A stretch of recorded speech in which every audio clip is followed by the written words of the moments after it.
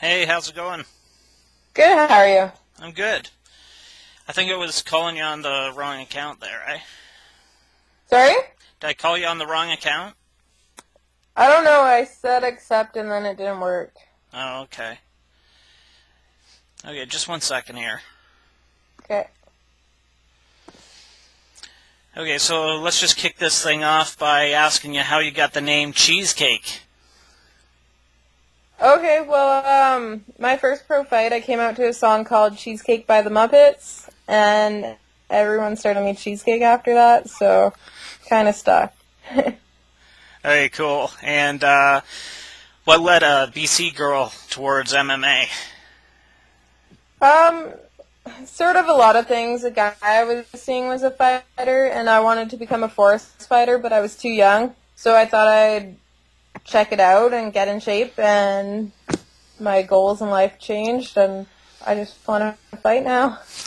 cool. So, uh, just talk me through your last fight. Um, I took it on like eight days' notice. It was pretty, yeah. We drove down there. Um, fought. I just went for the takedown right away. I. It's sort of hard to remember everything because I didn't get to see it all. Right. Again, you know, just got to do it. But um, it ended like I had her in topside crucifix and I was landing quite a few elbows, and the ref didn't stop it. I heard my coach say to go for the arm, so I was attacking an arm when the round ended. Second round, um, I think she stuffed my takedown. I know she was in top guard, landed a couple punches. I went for a omoplata, and then I somehow got back on bottom. She went to throw some punches, grabbed behind my head, so I went for the armbar. Uh, I heard her arm popping and she wasn't tapping. Uh, ref wasn't stopping it, so I cranked it more.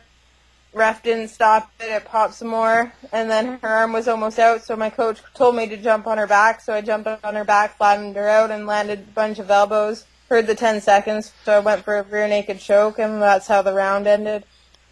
And then, yeah, the doctor stopped it. She didn't get up after that. Right. So. That's cool. That's cool. So uh, I was on Sherdog and I was looking at your record. Um, what was with the uh, two-year layoff in between fights?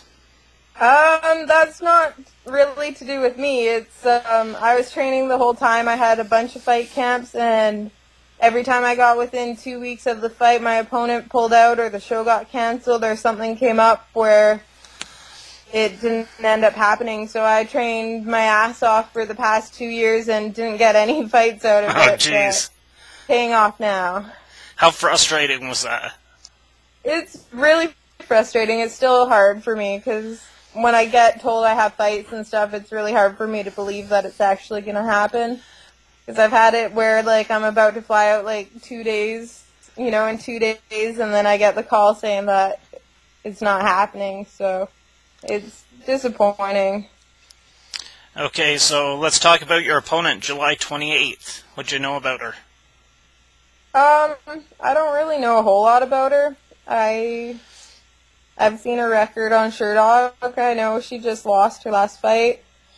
I I just sort of go into fights with my own game plan, and I know I'm going to dominate wherever it goes. So I'm pretty confident with what I got. So I don't really go into what she's got, but I don't know. That's just sort of how I am. Okay, and just talk about obviously the weight cut. Usually girls don't cut near as much as the guys do, but do you have much of a weight cut? Uh, I got a bit of weight to drop, so I'm trying to do it now rather than Right. day of the fight, so that I can make weight and not lose 25% of my purse. Yeah, Like, that it would kind of suck. Yeah, so yeah, it's good when you have the warning, so it makes it a lot easier to make the weight. Okay, and just talk about being on such a stacked card. This card's sick. Oh, you still there? Yeah. Yeah. Did you hear me? Um, yeah, yeah, and then it went all black. Oh, okay. Um, it's pretty exciting to be on the show. I mean, like like I said before, I've had so many fights fall through, so it's hard for me to be super stoked that it's gonna happen until I'm locked in that cage and the bell goes and I fight, you know.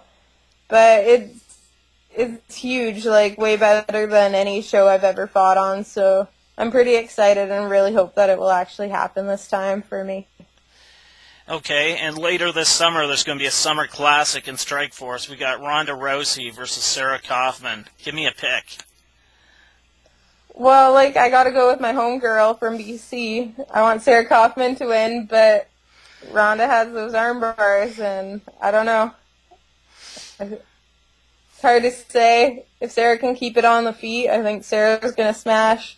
If it goes to the ground, I think Sarah's probably going to lose. So, yeah, just sort of has, I don't know, see where it goes. Okay, and we were chatting on Facebook, and you're telling me about your busted nose. Um, just tell me how that happened.